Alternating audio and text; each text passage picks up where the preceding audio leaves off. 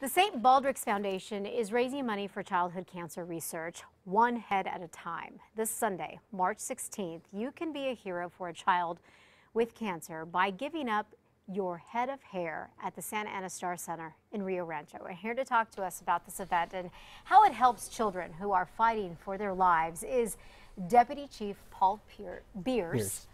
With the Rio Rancho Fire Department. Thanks so much, Deputy Chiefs, for coming in. We also have Battalion Chief Thomas Parascandola, also with the Rio Rancho Fire Department. Good morning to both of you. So, for those of you who are not too familiar with the St. Baldrick's event, uh, let's talk about what it is first. Go ahead. Uh, uh, St. Baldrick's Foundation is, uh, is established uh, around 2000 and is to, to raise money for uh, childhood cancers, uh, to raise money for research, to raise money for treatment, and grants for individual patients.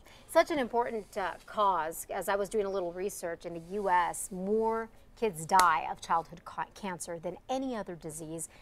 Uh, Deputy Chief, why do you guys uh, get involved in this? Well, we, we think it's a it's a truly noble cause. I mean, uh, most of us became firefighters uh, to help people in need, and this kind of is an extension of that, and uh, it goes beyond our response to, to 911, and and to help uh, kids that, that are truly innocent victims. Sure. And uh, it, it's hard to find uh, people that haven't been touched by cancer. I mean, I've got uh, uh, three children that I'm honoring this year. Uh, uh, their names are Augie, uh, Jennifer, and and Haley.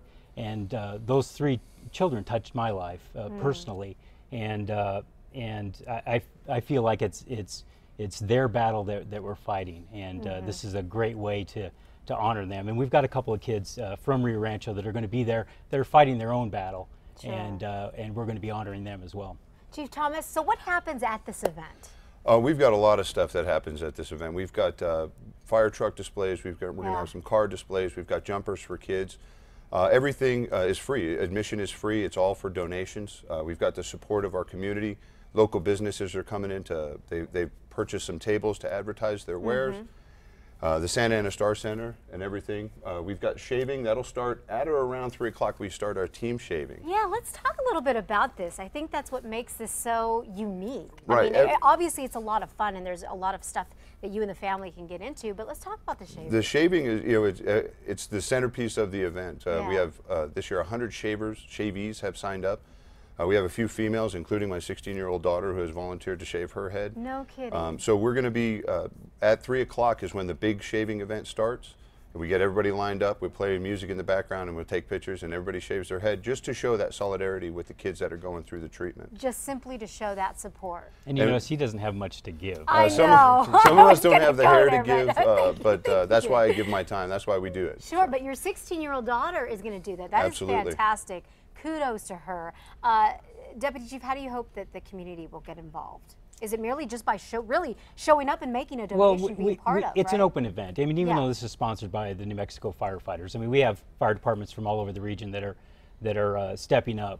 Uh, even though it's sponsored by by firefighters, we're hoping that people uh, just come. I mean, you can either come to volunteer, you can come just to, to donate, uh, you can come to shave your To head. shave your hair? Yeah, th- there's all kinds of way to get involved, and, it, and it's fun. It's very family friendly, and it's a fun event. You all brought some hats. I mean, what? St. Patrick's Day is the 17th. Kind of coincides a little Yeah. bit. This is the St. Baldrick's event, St. Patrick's Day the next day. Yep, it was designed like that originally. They, they it originally started with a couple of guys back east, and they kind of came up with that play on words uh, just to affiliate it and give it a purpose. I love the hats, by the way. Very colorful. All right, folks, again, uh, information on your screen. It's happening this Sunday from 12 to 4 p.m., Santa Ana Star Center in Rio Rancho. Help to raise $40,000 for cancer research. We've got a link on our website. Go to KASA.com. Click on the KASA blog. Thank you, gentlemen, for coming We, in. and we have a reminder for you to show up as well to wear I will your wear green. this until the day of the event. There you go. We'll be right Awesome. back.